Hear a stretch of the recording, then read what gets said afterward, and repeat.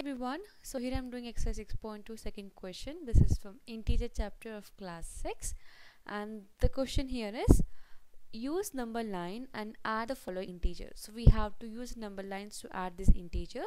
The first one is 9 plus minus 6 so here i've already taken number line. 0 we have here on number line on the right hand side we have positive integers on the left hand side we have negative integer so whenever we are adding a number, we move towards the right hand side. Whenever we subtract number, when we add negative integer, we go towards the left hand side. So that's it's very simple. Now we're going to start with the first question which is 9 plus minus 6. Now this is a problem. Now 9 plus minus 6 we have to start from 0. So it's a 0 and then 9. 9 is a positive integer. We go towards the right hand side. So 0 to directly till 9 now we reach 9 here. Now it's plus minus 6 now minus 6 is negative integer. We move towards the left hand side. That is 6 uh, places we have to move towards the left hand side. So when you move it or 6 steps we can say. So this is like 1 2 3 4 5 and then 6 so we are getting at 3 so this means 3 is the answer for this question. So 9 plus minus 6 is equal to 3 that's it. So we have to move from 9 to 3 6 steps we have to move towards the left hand side because 6 is negative. Now that was the first question. And let's move on to the next one. Now in the second one we have 5 plus minus 11 now 5 so we're going to start from 0 so 0 to directly 5 because 5 is a positive integer. We go directly jump to 5 now next we have minus 11 means we have to move 11 step towards the left side because 11 is a negative integer. So 11 steps means let us count here. So this is 1 2 3 4 5 6 7 8 9 10 11 so we're reaching it minus 6 so from here we'll get minus 6 so from 5 directly to minus 6 so minus 6 is the answer. So 5 plus minus 11 is equal to minus 6 then the next one. That was a third question.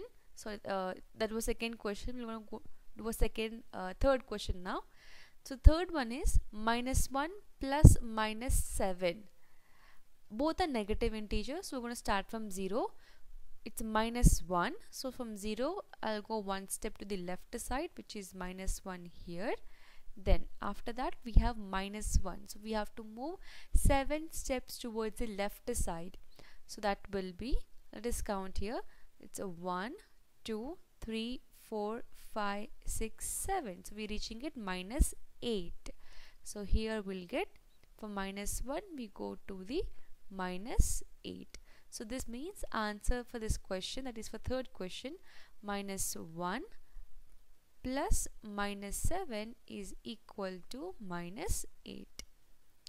Now the next one fourth question. Fourth question here is minus 5 plus 10. Same thing minus 5 is a negative integer so we have to move towards the left side. This is fourth question. So minus 5 plus 10 right? So here minus 5 means from 0 go to minus 5 which is here. Now it's a plus 10 so it's a positive integer. Move 10 steps towards the right side. So when you move 10 steps towards the right side from here we'll get 1 2 3 4 5 6 7 8 9 10 so we're reaching it 5 so from here we'll get 5 So from here 5 is the answer.